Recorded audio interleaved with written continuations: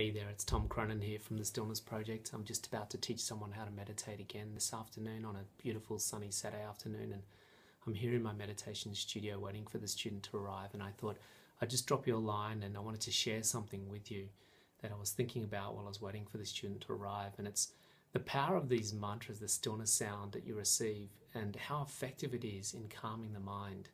You know, it's just fascinating the nature of your mind, how it jumps constantly from thought to thought to thought, going into the future and going into the past, worrying and forecasting and analyzing, always processing all that information.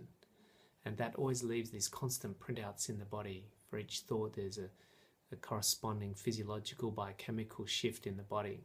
This can get very tiring for us.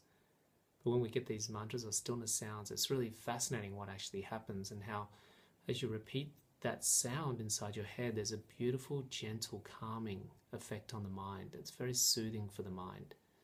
And the mind's constantly looking for charm. And here the mind has found something quite charming, which is the repetition of that sound. And this is how you cool and calm that mind down from all those fluctuations.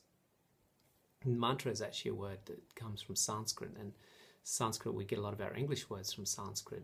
And um, two of the words we get out of that word mantra, man or manas, is where we get the word mind, and tra is where we derive our word truck. And if you think about what a truck does, it takes something from one place to another place, exporting it. And this is what the mantra does it exports the mind from that surface fluctuations, um, constantly turning over lots of thoughts down into the gentle stillness that lies beyond thinking.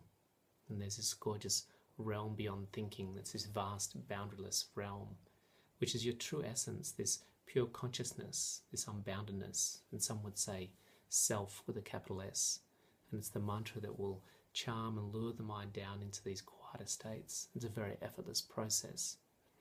So that's just something I wanted to share with you about the mantras, the sounds that um, you can receive through the meditation practice. And if you'd like to hear more about that, just go to stillnessproject.com and you'll find out a lot more about that. So, looking forward to uh, touching base with you soon. By all means, go and check us out on Instagram and Facebook, and you'll find links below this video for all of those little social media grabs. Look forward to uh, chatting again soon. Namaste.